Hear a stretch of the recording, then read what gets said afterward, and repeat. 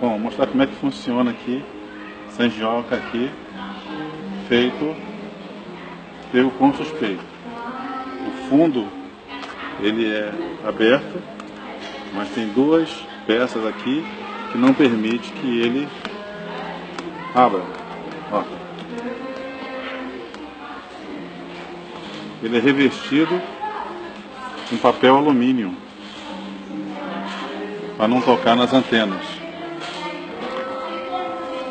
Então, o suspeito ele entra e dentro da loja ele simplesmente deixa que a peça, joga a peça no chão e enfia.